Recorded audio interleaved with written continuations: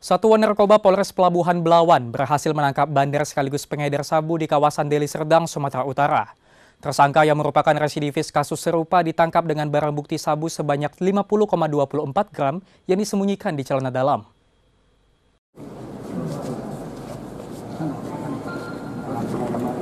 Wakde 57 tahun warga Jalan Veteran Pasar 6 Desa Manunggal, Kecamatan Labuhan Deli, Kabupaten Deli Serdang, tak berkutik ditangkap satuan narkoba Polres Pelabuhan Belawan di rumahnya.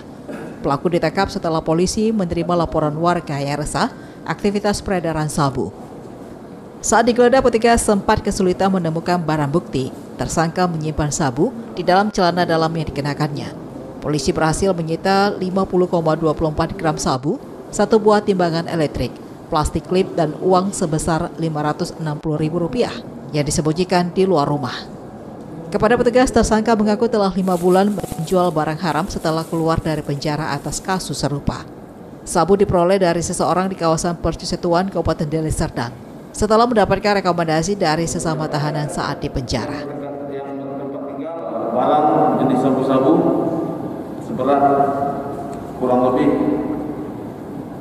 50,24 gram yang disembunyikan tersangka di selangkangannya ataupun di dalam celananya.